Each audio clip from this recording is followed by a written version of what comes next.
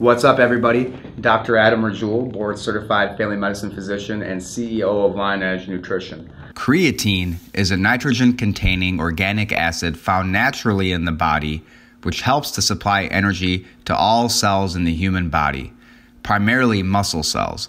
This is done by increasing the formation of adenosine triphosphate, also known as ATP. Found primarily in red meat, one would have to eat roughly 500 grams of raw meat or fish daily to ingest the optimal amount of creatine.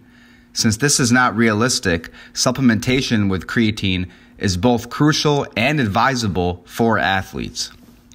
Various studies have shown a significant positive correlation between creatine use and levels of testosterone and insulin growth factor, thus resulting in increased muscle growth, strength, and recovery, which is why creatine is a crucial ingredient both in the pre and post workout periods. Research has also shown significant increases in lean body mass, muscle hypertrophy among both fast and slow twitch muscle fibers, as well as a one rep max in participants who took creatine monohydrate with their post workout protein blend. Studies have also linked creatine with decreased levels of myostatin, which is a protein that has catabolic effects on skeletal muscle, limiting the growth of muscle tissue. Kre-Alkalyn is a multi patented pH buffered creatine monohydrate and is the only 100% stable form of creatine due to its alkalized pH of 12 because its molecules are synthesized with buffering agents using a patented manufacturing process.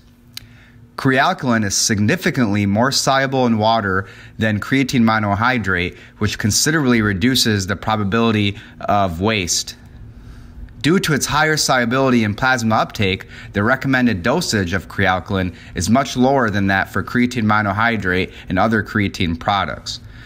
Research has found that less than 3% of the original amount of creatine monohydrate is transported across the intestinal cells within 90 minutes, which results in limited uptake of creatine monohydrate by the intestines, thereby muscle absorption.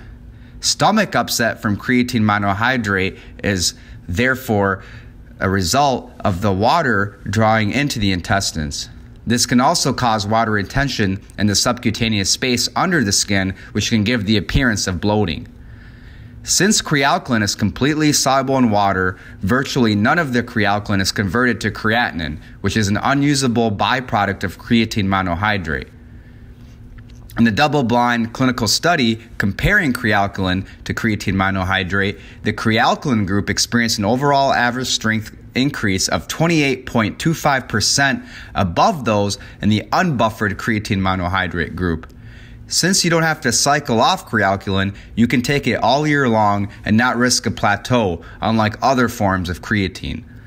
Most supplement companies still use creatine monohydrate and other cheaper forms of creatine, usually in forms of complexes, due to their much cheaper manufacturing costs. You'll see many different creatine products. Now, the creatine that has the most research that's been stable of creatine is creatine monohydrate, right? Um, hundreds of research, research studies on performance, strength. What Kre-Alkalyn is, it's, it's a creatine monohydrate, but it's, it's been, it's a patented creatine where it's, it is the only stable creatine on the market. It's the only creatine that's 100% soluble. You know, there's creatine HCl, there's other creatines. Creatine HCl, you're already losing 40 to 50% of your creatine monohydrate just from the, the acidification process, right? So you're not getting the desired effects that you would get from creatine monohydrate. Um, it, there's other creatine like esters, other other different types of, and forms of creatine. There's essentially no studies on it. There may be one study on, on each of these creatines. Uh, is patented, has, has had uh, numerous studies supporting it, both uh, in the lab and clinically. It's the only creatine that doesn't that doesn't uh, basically get converted into creatinine. So if any people with kidney issues, uh, if, you, if you're having kidney issues, what do we measure as doctors? We measure creatinine. Creatinine is a waste uh, waste bioproduct of creatine. creatine. Uh, once creatine gets uh, uh, absorbed into the bloodstream, it converts into creatinine, which is bio waste. So all these bad side effects I hear about creatinine, uh, creatinine with kidney failure, you know, bloating, diarrhea, water retention that's all from the creatinine. Now, that's that can happen with creatine monohydrate once it uh, gets absorbed into the bloodstream and then it converts into creatinine. That does not happen with Kre-Alkalyn. Think about a kidney stone. If it's an acid stone, what do you do? You you, you, you drink things that can make your uh, blood more alkalized. It'll increase the pH so the stone gets absorbed. If it's a basic a stone with a basic pH, you want to drink something acidic, right? Um, so drinking something acidic when it's getting absorbed into your stomach acid, which is already acidic, doesn't really make too much sense. You want to alkalize it.